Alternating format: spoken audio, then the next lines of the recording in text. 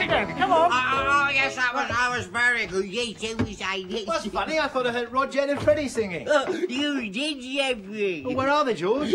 Here. Here, but where? Here, Geoffrey. We're pretending to be Rod, Jane and Freddy. Oh, I'm Freddy. Oh, can you guess who I am? I've got some yellow wool for my hair and an old curtain for my skirt. Yes, that's right. I'm James. Yeah, well, come on, let's show Geoffrey. What you? Because I'm ready. yes, we know that, George. Right. One, two, three.